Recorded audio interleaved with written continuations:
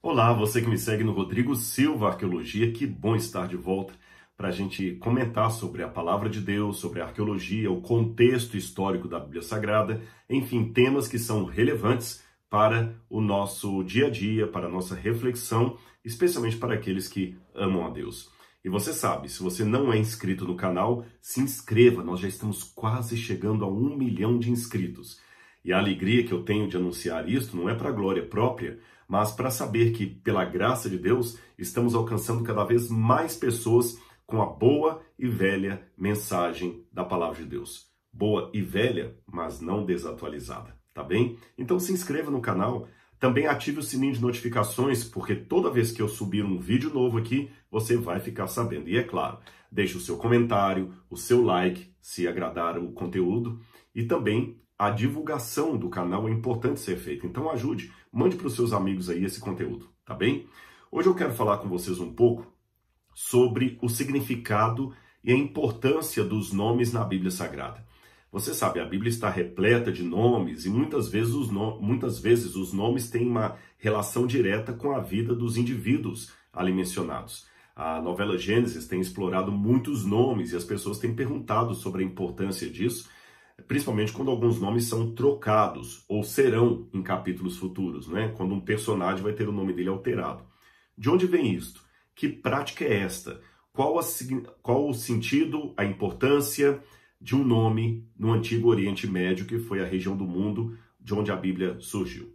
Ah, Deixe-me começar essa, essa reflexão, esta explanação, contando algo para vocês sempre me chamou atenção no Oriente Médio, nas vezes em que eu estive com beduínos, como que eles tinham uma relação toda especial com essa questão do nome. E quando eu conversava com eles, geralmente a maior parte dos beduínos, eles é, congelaram, posso dizer assim, práticas da cultura bíblica até os dias de hoje. É lógico que muitos deles nem são cristãos ou judeus, são beduínos, são árabes, são muçulmanos na maior parte. Alguns são árabes, outros não são árabes, mas são muçulmanos. Mas por viverem no deserto, eles conservam práticas milenares que são praticamente as mesmas que eu encontro na Bíblia Sagrada, ou seja, do ponto de vista antropológico, eu faço um exercício mental muito interessante em me associar com os beduínos, tentar entender a cabeça deles, porque assim eu consigo algumas pontes para entender a cabeça do autor bíblico ou das pessoas que viveram no tempo da Bíblia Sagrada. É que as cidades mudam, mas o deserto não. Por exemplo, quando eu volto a Belo Horizonte, a cidade onde eu nasci, a Belo Horizonte que eu encontro hoje está muito mudada em relação a Belo Horizonte de quando eu era criança. Lugares que eram completamente um mato, agora é um bairro com comércio, com ruas, com praça, com igreja. É, bastante, cresceu bastante a cidade. O deserto não. Se eu for ao Saara hoje, eu vou encontrar praticamente a mesma visão, a mesma natureza que era vista pelos faraós na época de Moisés ou de José do Egito. Então as pessoas que vivem ali, eles acabam como próprio contexto, como o próprio ambiente, congelando de certa forma certas tradições e mantendo-as apesar dos séculos, apesar das modernidades. Os beduínos fazem esse papel. Então, quando eu vou encontrar com eles, eu aprendo muita coisa da cultura bíblica para entender alguns textos e aplicá-los a vocês. É mais uma ferramenta interessante na hermenêutica. E falando nisso, eu observo também, como eu já havia mencionado, a importância que eles dão a nomes e significados de nomes. Você sabe, a maior parte deles fala árabe ou algum dialeto associado ao árabe.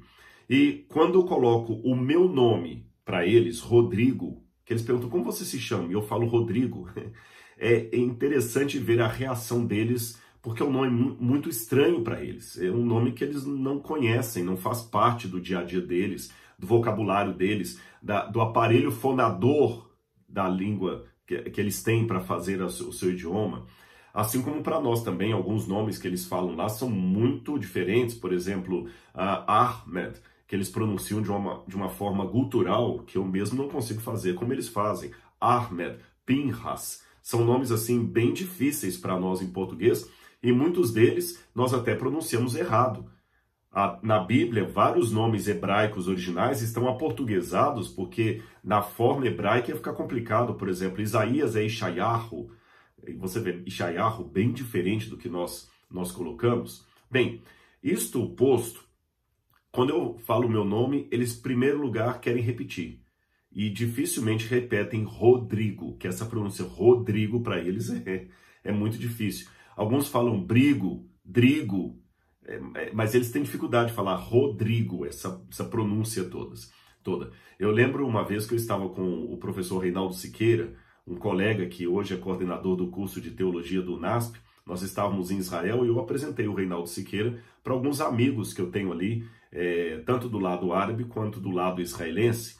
E foi interessante que eles não falavam Rodrigo, apesar de tantos anos que eu os conheci, eles falavam Brigo, Brigo.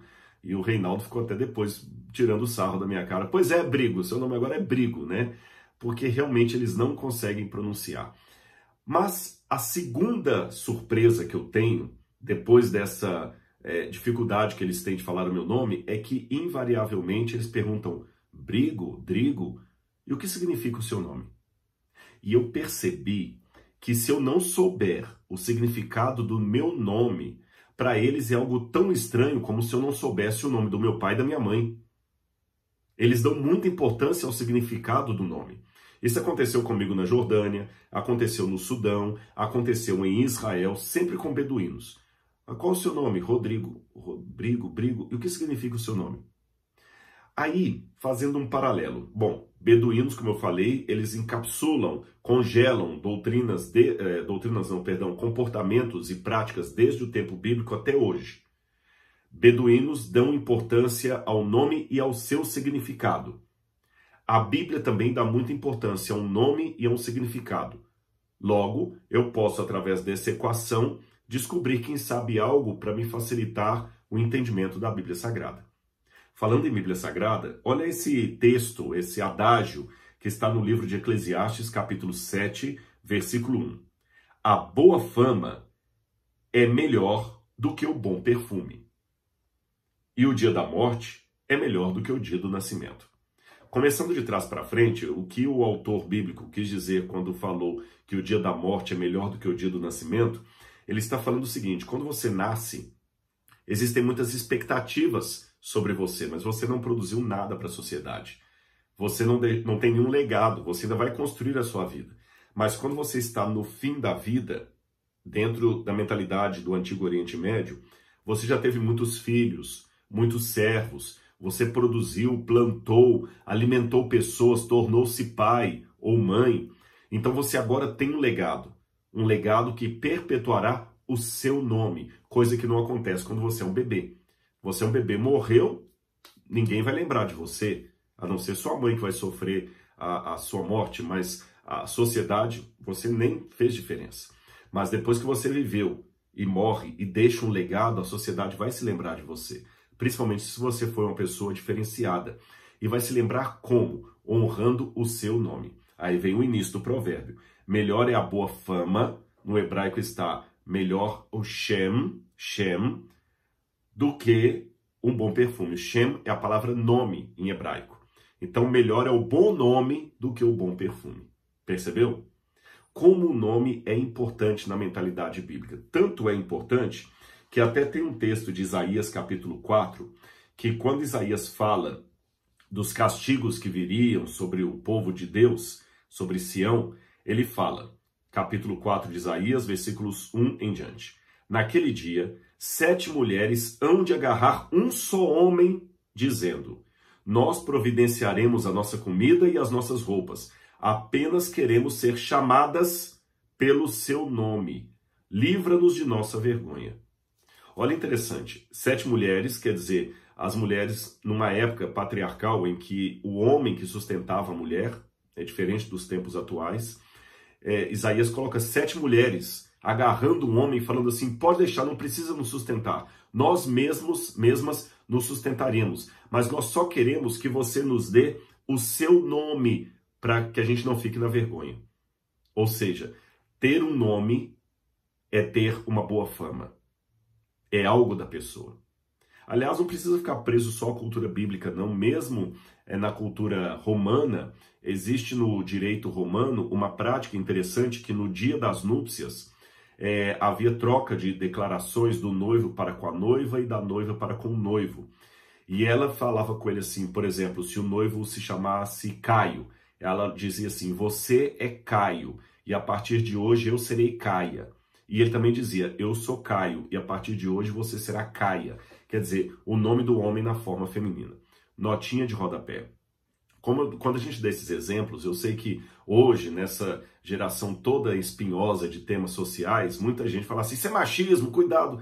Gente, eu só estou mencionando como era a cultura dos tempos da Bíblia. O meu tema aqui não é pauta social, tá bom? Só estou mencionando, não estou emitindo juízo de valores falando que eles estavam certos e nós errados ou que nós estamos é, certos e eles errados. Estou apenas colocando isso para ajudar a entender, dentro da cultura bíblica, a importância do nome e, como eu aprendi com os beduínos, o seu significado.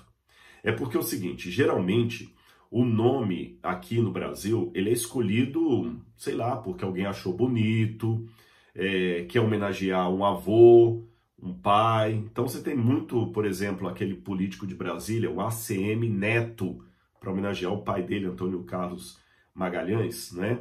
É, o, o, avô dele, melhor dizendo. Então você tem ACM Neto. Você tem às vezes aqui, olha, o Francisco Filho, quer dizer que o pai dele também se chamava Francisco. É, em alemão, às vezes tem esse costume, Gerhard von Rad. Von Rad, quer dizer, filho de Rad, é, da família Rad, filho de. Então a gente tem isso em português. Na Bíblia, não exceto naqueles lugares, naqueles reinados, como a própria Roma, que vai ter César, Augusto, Tibério César, Nero César, que o César é um título, no, nas famílias de maneira geral, é, a pessoa tinha apenas um nome. E um nome escolhido a partir de um significado que tinha a ver com algo da vida da pessoa. Tá certo? Resumindo, o nome não era escolhido pela sonoridade, pela beleza, mas pelo significado acima de tudo. Entendeu? Então vamos dar alguns exemplos bíblicos. É, quando a Bíblia dá o nome de uma pessoa, pode olhar que a Bíblia, não, em muitas vezes, explica o significado do nome ou pressupõe. Por exemplo, quando eu vou para o Evangelho de Mateus, olha que bacana isso aqui. Quando eu vou para o Evangelho de Mateus, que fala do nascimento de Jesus, Mateus capítulo 1. Mateus capítulo 1 fala que é, o anjo apareceu a José e falou que José não deveria ter medo de tomar Maria como sua esposa, porque o filho que estava no ventre dela seria o filho de Deus. E o anjo fala assim para, para José: Ela dará à luz a um filho, e você porá nele o nome de Jesus, porque ele salvará o seu povo dos pecados deles. É interessante que o nome Jesus, em hebraico, Yeshua, significa o Senhor salva. Ie é o tetragrama sagrado do nome de Deus. O que é tetragrama? Tetra, quatro, grama, letras. São as quatro letras do nome sagrado de Deus em hebraico, que até hoje a gente não sabe a pronúncia correta. Alguns falam Yahweh, outros falam Javé. É, até teve um, um, problema com o nome Adonai, que pegaram as, as vogais de Adonai e colocaram no tetragrama sagrado, que traduzindo em português seria um Y, um H, um V e um H. Aí colocando aqui virou Jeová ou Yehová, mas nós não sabemos a pronúncia. E por que não sabemos? Porque os judeus, até por uma questão de respeito, evitavam pronunciar o nome de Deus. Eu vou falar mais sobre isso no final desse vídeo. Mas é, esse nome, porque o hebraico não tem o J, então muitas palavras que nós hoje vertemos como J, por exemplo, Jerusalém, em hebraico é Yerushalayim, tá? É, então vai por aí afora. Então você vê que é Yerushalayim. A questão do J, ele vem depois por influência do latim e substituiu o Yod, que é uma letra do hebraico, e a gente acaba falando Jerusalém, Jebuseus, Jesus, Josué e assim por diante mas originalmente o nome de Jesus seria Yeshua. O nome de Jerusalém seria Yerushalayim, tá bom? E não caiu na teoria da conspiração de achar que mudaram o Yod por um J. Na verdade, nem foi mudança, porque o J nunca fez parte da, da, do alfabeto hebraico, nem o Yod do alfabeto latino. Ali, na verdade, foi uma adequação linguística que eu vou explicar isso num outro vídeo, que não agora, para não fugir da minha temática. Por hora, basta vocês saberem que essas letrinhas, é, o, o Y, o J, o H, o V e o H, formam o tetragrama sagrado do nome de Deus. E esse nome às vezes é abreviado. Ao invés de falar o nome de Deus, Yehová ou, ou Yahweh, que eu falei, eu não sei a pronúncia, a gente pode falar de maneira abreviada, Iá. Quer um exemplo? Quando você fala assim, é, Aleluia, louvai ao Senhor. Os judeus substituíam o nome de Deus pela palavra Adonai, Senhor, ou por Hashem, o nome. Então, Aleluia, louvai ao Senhor, Iá. Percebeu? Iá, louvai ao Senhor, Iá. Muitos nomes da Bíblia terminados em Iá são nomes que têm o nome sagrado de Deus incorporado ao seu significado. Jeremias, é, então tem Iá, tá vendo? Jeremias e outros mais que eu poderia dar de exemplo para vocês. Então, Ie ou Iá, as duas, as duas formas são corretas no hebraico. Ie é a abreviatura do nome divino. Ie, o Senhor. Shua é o verbo salvar em hebraico. Então, Ye, o Senhor, Shua, salva. Yeshua, o Senhor salva. Yeshua, Jesus. Mas olha que interessante até como o anjo explica isso para José. Ele fala assim: ela dará luz a um filho e você porá nele o nome de Jesus, o Senhor salva. Por quê? Porque ele, Jesus, salvará o povo dos pecados deles. Olha que interessante. O nome significa que o Senhor, Yahweh, salva. Mas o anjo fala, ele receberá esse nome porque ele, Jesus, salvará. Ou seja, Jesus é colocado na explicação do anjo como uma alternativa para o nome sagrado de Deus. Percebeu? A pessoa de Jesus faz o papel daquilo que Deus faria, porque o nome significa o Senhor salva. E o anjo não falou para José: colocarás nele o nome Jesus, porque o Senhor salvará o seu povo. Não, porque ele, Jesus, salvará o seu povo. Ou seja, ele é o Senhor. Bonito isso, né? Outros exemplos que eu poderia dar para vocês de escolhas de nome a partir de significado, porque cada é, de contexto, cada nome podia ser escolhido dependendo do contexto. Por exemplo, Jacó quando teve o seu filho. Jacó ficou todo feliz, né? E nasceu lá o bebê. É, em português, quando nós vamos dar é, uma exclamação, a gente fala assim: ó, oh, um carro, ó, oh, um pássaro, ó, ó. Não é assim que a gente faz? Em hebraico bíblico, eles diziam ru, ru. Assim que era a exclamação. E a palavra filho em hebraico é ben. Aí você junta a exclamação com ben, você forma a seguinte sentença: Ó oh, filho, Ruben, Ruben, da expressão, da exclamação Ruben, ó oh, filho, vem o nome Ruben, ou Rubens, como depois a gente acabou mudando a pronúncia do nome. Ruben, um dos filhos de Jacó. Noutra feita, quando é, Raquel morre, Jacó fica muito triste, ela morre no, durante um trabalho de parto. Ele fica tão angustiado que quando ele vai escolher o nome do menino, ele quer chamar o menino de Benoni. Ó, Ben, filho. Você já aprendeu. Ben, filho. É, non é aflição, angústia. Esse i final é o, o, a forma de falar meu, é o pronome possessivo. Então, ben, filho, non, aflição, e meu, filho da minha aflição, ou filho da minha amargura, filho da minha dor. Imagina uma criança sendo chamada de filho da minha amargura, até que depois mudaram e falaram: não, não, esse é um nome muito feio, vamos deixar na criança o nome de Benyamin. Ben, filho, Yad, Yad, Benyamin, a, da minha mão direita, filho da minha destra. Benyamin, que a gente fala em português, Benjamin. Percebeu o J de novo entrando no lugar do Yod? Benyamin virou Benjamin, filho da minha mão direita. Olha que bacana isso. Ab em hebraico é pai. Am é povo. Pai e povo. Então, Avram, pai de um povo. Av, Am, a pai de um grande povo. Por isso que o nome do patriarca no início é Abrão, depois Abraão. Legal demais essas coisas que nos ajudam a entender a Bíblia Sagrada. E isso tudo me explica também por que, que quando a pessoa mudava de atitude, mudava radicalmente na sua vida, ele mudava até de nome. Por exemplo, vamos pegar o caso de Jacó. Jacó, quando nasceu, ele era gêmeo do seu irmão Esaú, e Esaú vem da palavra Sheir, que significa peludo, porque era uma criança muito peludinha.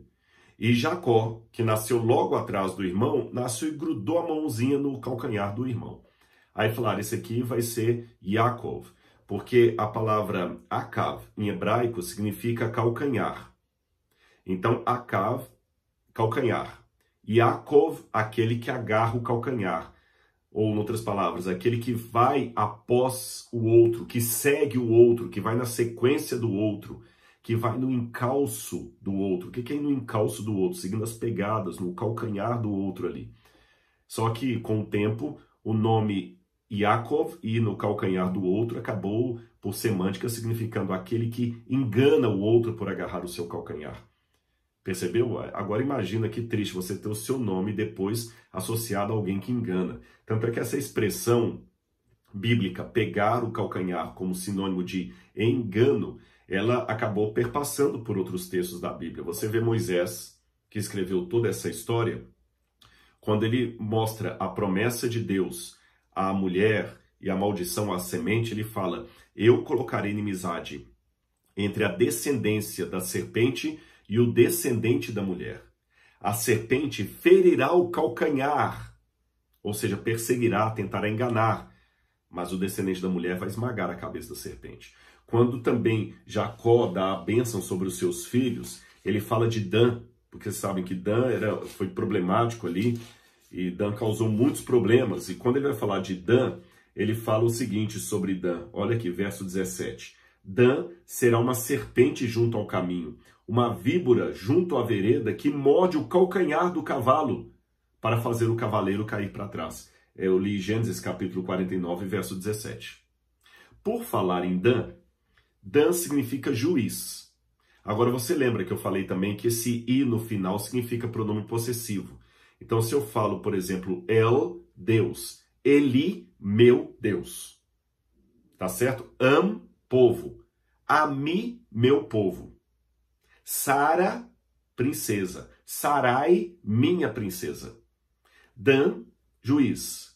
Dani, meu juiz. El, Deus. Daniel, Deus é meu juiz. Agora, já que eu falei de, de Jacó e acabei enveredando para os outros aqui, o Jacó, quando ele luta com o Senhor e vence, porque ele mudou de vida, Deus mudou o nome dele. Ele agora se chamará Israel. Ish, homem. Ra, luta. El, Deus. Aquele que luta com Deus e complementa e prevalece. É muito bacana isso. Tanto é que tem um provérbio é, rabínico que diz assim: que todo homem ganha três nomes durante a sua vida: aquele que ele ganha dos seus pais, aquele que a sociedade lhe dá e aquele que ele mesmo constrói com a sua história. Eu acho bacana isso, porque eles sabem que os nomes são escolhidos pelo significado, então você pode às vezes ter um nome com significado ruim ou que adquire algo ruim. Né? Jacó, que significava aquele que vai no encalço de, que segue atrás do outro, o nome que ele recebeu do pai dele. Depois, a sociedade dá um nome de enganador, mas ele constrói na sua luta com Deus o nome de Israel, que o próprio Deus lhe dá. Isso é muito bacana. Também acontece o caso que dar um nome sobre uma pessoa significa ter autoridade sobre ela. Lembra os amigos de Daniel e o próprio Daniel que foram para Babilônia e o rei Nabucodonosor mudou o nome deles por nomes alusivos aos deuses da Babilônia?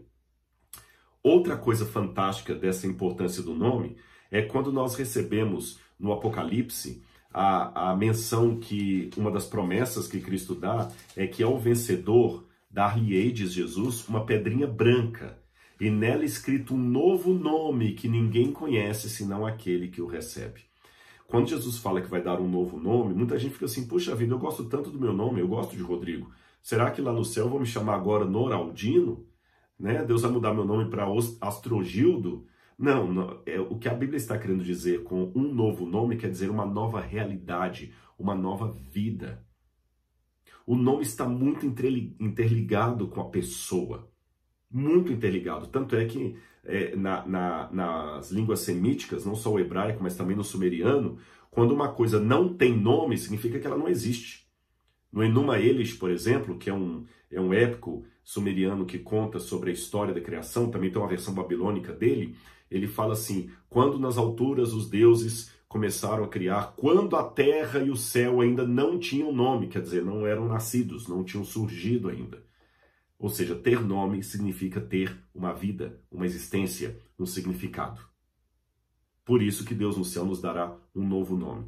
Na Bíblia tem muitas expressões quando fala assim que apagar o nome de uma pessoa quer dizer aniquilá-la, dar morte para ela. Deus fala para para os hebreus, quando vocês entrarem na terra, vocês vão aniquilar esse povo e vão apagar o nome deles da terra.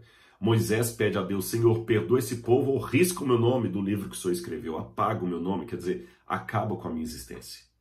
Agora, tudo isto apresentado, eu estou pronto para entrar na última e talvez a mais importante parte desse, desse, desse vídeo aqui. A santificação do nome de Deus. O Pai Nosso começa, Pai Nosso que estás nos céus, santificado seja o teu nome, seja tornado santo. É, como eu falei, os judeus evitavam pronunciar o nome de Deus em hebraico por uma questão de reverência. Todas as vezes que na, na Torá ou na Tanakh eles iam pronunciar o nome de Deus, estava escrito o nome de Deus, eles mudavam por Hashem ou por Adonai. Tá certo? É, por exemplo, a bênção sacerdotal, Yevarechecha Adonai, que o Senhor te abençoe. No hebraico está Yevarechecha Yahweh mas eles não falam Yevarechecha Yahweh, eles falam Yevarechecha Adonai, ou Yevarechecha Hashem, ou seja, que o, que o Senhor te abençoe, ou que o nome Hashem te abençoe.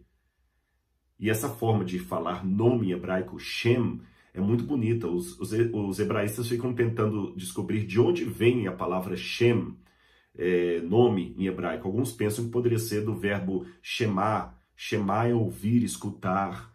Shema Israel, Adonai Eloheinu, Adonai Had, ouve Israel, o nosso Deus é único. É, então, esse Shema, ouve, da palavra Shema, deve ter vindo a palavra Shem, nome, ou seja, você ouve, você atenta, você é identificado, você se identifica. E quando a gente atribui isso para o nome de Deus, temos que ter toda a reverência. É lógico, claro e evidente que o mandamento diz: não tomarás o nome do seu teu Deus em vão. E muita gente fala, então não posso pronunciar o nome de Deus de maneira nenhuma? A rigor, os judeus só pronunciavam o nome de Deus quando estavam lendo a Torá no dia do Yom Kippur. Só no dia do Yom Kippur que ele lia e pronunciava o nome de Deus, nos outros dias não. Por isso que o nome, com o tempo, até perdeu qual era a pronúncia exata que se usava nos tempos de Moisés. Mas, de qualquer maneira, é, devemos ter uma reverência pelo nome de Deus. Não como alguns pensam, ah, então não posso falar o nome de Deus de maneira alguma. Tem gente que fala o seguinte: já aconteceu comigo, olha, se Deus quiser, nós vamos conseguir isso. Vá com Deus, fique com Deus, Deus lhe pague. Não, Rodrigo, não fala assim, não. Você está levando o nome de Deus em vão. Gente, eu estou levando o nome de Deus em vão, desejando que a pessoa vá com Deus. Eu não acho que é por aí. E a própria enciclopédia judaica fala que foi uma distorção do terceiro mandamento interpretar que Deus pronunciou, Deus proibiu a pronúncia do seu nome. E de fato não é isso que está na Bíblia. Deus não falou, não pronunciarás o nome do Senhor teu Deus em vão. Ele fala, não tomarás, não levarás. E os comentaristas ficam tentando explicar qual é o sentido. Alguns pensam que não, tomará, não tomar o nome de Deus em vão significa não jurar falsamente em nome de Deus. Outros pensam que poderia ser não invocar magia em nome de Deus, porque na época em que os hebreus chegaram à terra prometida, os povos em redor ficavam amaldiçoando muito em nome do Deus. E, ó, em nome do Deus Baal, eu amaldiçoo você, em, nome de Dagon, eu desejo para você é, toda, toda, toda sorte de vermes. Isso não poderia ser falado pelos hebreus usando o nome de Deus, é provável. E a terceira forma é não tratar o nome de Deus como coisa qualquer, como coisa barata. Então, por um lado, eu acho que não precisamos chegar ao extremo de nunca pronunciar o nome Deus, mas não também falar dele como se fosse coisa qualquer. Porque santificar o nome de Deus é santificar a pessoa de Deus. Por questão de tempo, eu não vou entrar aqui no mérito da questão. Um dia eu prometo fazer um vídeo sobre isso, sobre alguns que me perguntam, Rodrigo, é verdade que o nome de Deus é Yahweh? né? Yahshua, que é o nome de Jesus, Aua, porque tem alguns que falam que esse que é o nome correto. Um dia eu farei um vídeo sobre isso. É, também não creio que precisamos, como os meus queridos irmãos testemunho de Jeová, dizer que o nome de Deus é Jeová, porque a própria Torre de Vigia admite que Jeová é um anglicismo do nome hebraico que nós não temos a certeza absoluta da sua pronúncia. Mas disso eu falarei numa outra ocasião. Por hora, quero deixar apenas com vocês três coisas aqui. Primeiro, você entendeu a cultura do nome no Antigo Oriente Médio, na época da Bíblia, o significado. Segundo, você viu como é rica a promessa de Jesus, que dará um novo nome àquele que for salvo. E terceiro, como é importante, através do respeito e da reverência, santificar o nome de Deus que está no céu. Que o Senhor abençoe você e que você possa, quando Jesus voltar, receber aquela pedrinha branca com um novo nome escrito, uma nova realidade preparada especialmente para você. Um grande abraço e a gente se vê no nosso próximo vídeo. Até lá!